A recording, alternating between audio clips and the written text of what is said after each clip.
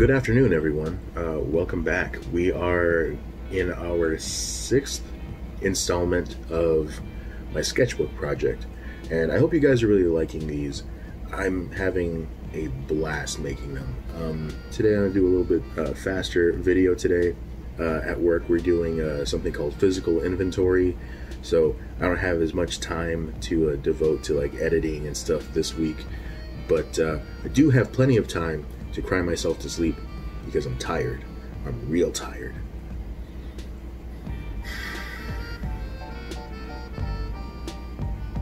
Anyway, uh, I apologize also if this looks weird or sounds a little bit weird. Uh, I'm having to use different recording equipment because my um, the battery in the camera that I've been using is is dead. I really don't have the time to charge it and then set up again and then do all this stuff. Uh, I have another camera that I just got that um, is I have no idea how to use it. It's been it's been like seven years, probably closer to eight years since I've used like a, an honest to goodness real DSLR camera, and um, I don't remember how to use it correctly. Uh, so I might start using that to record portions of the videos. Just a couple of announcements. Uh, one, it's September, so happy September. Uh, two, uh, it's almost October. Happy almost October.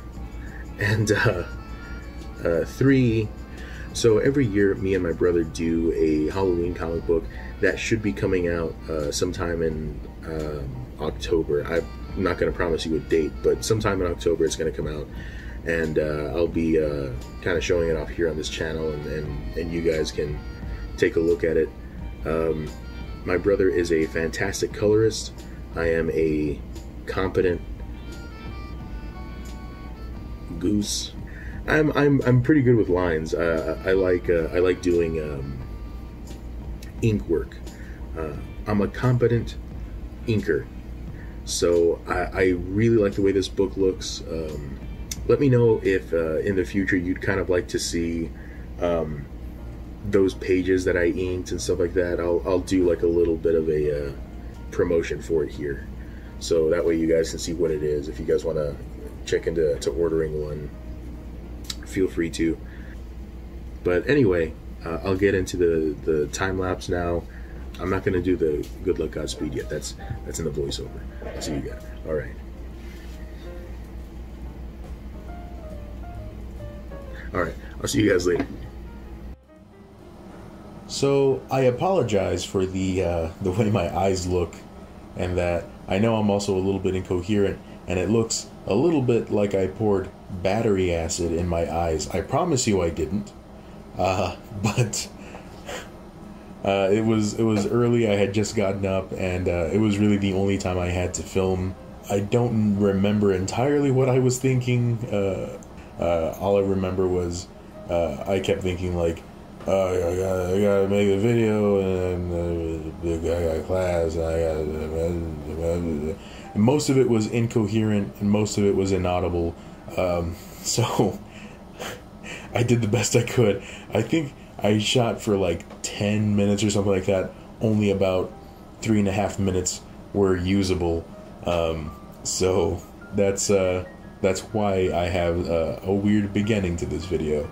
But uh, anyway, let's let's move on, shall we, to more successful aspects of my uh, creative endeavors. So uh, this week I I, am I'm going into a new uh, section of this sketchbook. This is the next five paintings will be based on songs from a band called The National. The National is an incredible band. They are sort of a rock band.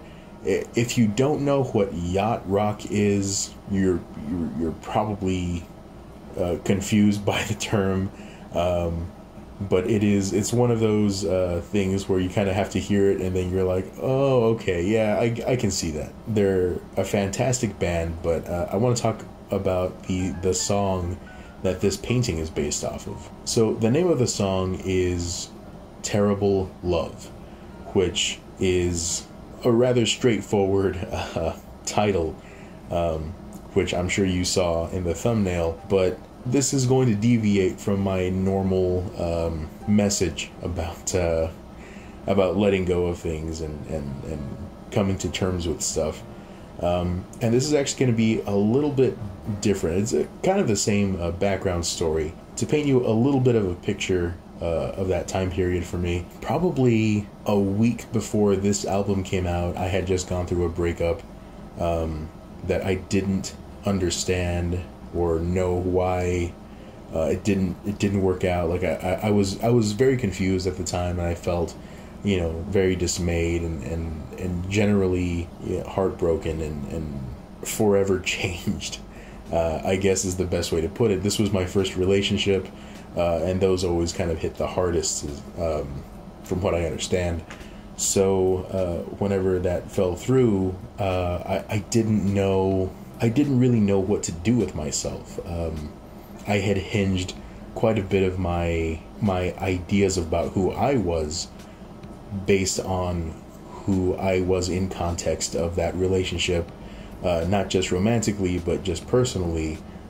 I remember driving home from it was Best Buy actually. I was I went to school. I went to Best Buy because I had heard that this album had just come out. Um, I guess it would have to be like a Tuesday. I think that's when new albums come out.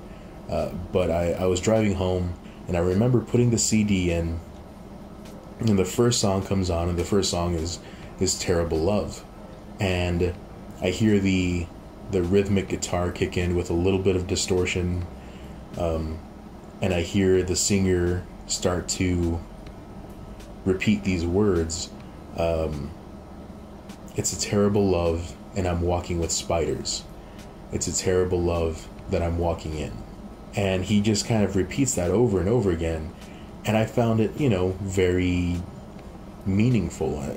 The the imagery of that song is, is really what started to to kind of grip my attention and, and so I started listening to this song and by the time he gets to there's another part of the song where he starts to say um, but I won't follow you into the rabbit hole I said I would, but then I saw your shivered bones. They didn't want me to. So that's you know that's a line expressing uh, like this sort of rejection, but it, it's it's this it's a line that describes this sort of epiphany of you don't want me around. You know that that that sort of feeling of like oh I'm I'm not a part of this anymore, and that line destroyed me. I had never felt such an impact from words from a song the very first time I heard it. I'll admit that I, I can be, you know, a little um, emotional. I think I have, I think my sense of humor, and I think th- this is true for most people, like, your sense of humor is a, a defense mechanism, right? Like, whenever you've been exposed to, uh, like, raw emotion before and, and you're not good with coping with it, you develop uh, coping mechanisms that are not always healthy, but, you know, sometimes entertaining. Um, and I definitely, you know, that's that's what that's what humor is for me. And I never knew that I could feel that level of exposure, that that level of like like this this mirror was being held up to to me and and I actually heard my own ineffable feelings coming from someone else. And I started to cry. Uh, I'd never, I had never cried for a song like that before. Like and, and it wasn't just like this like single tear. I just started to break. And so when i say it destroyed me i mean it destroyed me it it, it broke me down and then by the end of the song he says uh, it takes an ocean not to break and i am a little embarrassed to admit this, but I, I will still admit it. I, I didn't quite understand what he meant when he said that. You know, it, it wasn't until like much, much later I realized, oh, he's talking about alcohol. He means he gets drunk in order to not feel sad about it, um, in order to not break down or, or, or whatever about it. And uh, personally, you know, I don't drink or, or, or do drugs or, or smoke or anything. I'm, I'm real exciting that way. But um, I do I understand the need for uh, diving into something just to not be around your haunting thoughts. Uh, so for me, the ocean that he spoke of uh, is represented here by paint. It's represented by watercolor. It's represented by creation of things as a cathartic release, uh, as a uh, a way to, as healthily as I can do it, uh, talk about the biggest, uh, what left the biggest scars in my life. And this particular painting, even, is kind of a, I guess, a realization of why it is that uh, I make so many paintings about, you know, letting go or, or, or trying to process information that I just don't understand. In a lot of ways, uh, painting, being creative in in any uh, aspect is like learning to speak. It's learning how to express yourself in a new language. You know, gouache is not my my forte. It was never my you know my go to, but this is certainly one of my favorite paintings that I have ever done in my entire career as a uh, as a painter. And I think it's because it it is technically fine. I think it does what it's supposed to, but it's I think it's capturing more of what I intended uh, conceptually. It's me sort of morosely holding a glass of uh, paint or, or watercolor water and um, with a paintbrush in it with a with a spider there and um, in the song he mentions you know uh, it's a terrible love uh, and I'm walking with spiders. And I think that spider is actually meant to feel more like it kind of evokes this this feeling of being in a house where there's cobwebs and there's really only spiders, and you see that house as abandoned or just kind of left uh, to rot. And that's kind of the the feeling I think that he's that he's implying here. On that cheery note, uh, I'll go ahead and uh, and move on a little bit to the, the technical stuff of this painting. This is like I said, I think this is one of my more successful paintings. Um, not just for the uh, the technical aspects of you know it, it kind of looks like me. I think it it, uh, it, it came along just fine. Um, you know, thanks to some reference photos and, and some experience with with gouache. I think I think I'm finally starting to get the hang of gouache. You know, my, my first few paintings uh, uh, with gouache just came out muddy, and I just I didn't understand how to use it to speak. Uh, and that's kind of what I was talking about. Is like you you use uh, mediums, you use new creative outlets as you know new languages. You you have to learn how to talk through them to communicate how you feel through these things. And uh, yeah, for me, I am becoming more fluent in gouache, and uh, I think it shows uh, okay in this uh, in this painting. But anyway, guys, thanks for watching. Um, thanks for hanging out, and I appreciate uh, everybody who's been uh, supporting the channel. Um, don't forget to like, share, subscribe, comment. So this week, my question is, you know what? I'm gonna end it on a uh, on a slightly sillier note. How about that? We'll uh, we'll lighten things up a little bit.